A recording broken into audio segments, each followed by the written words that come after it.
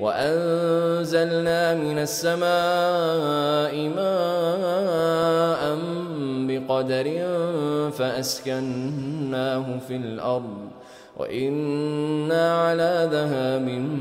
به لقادرون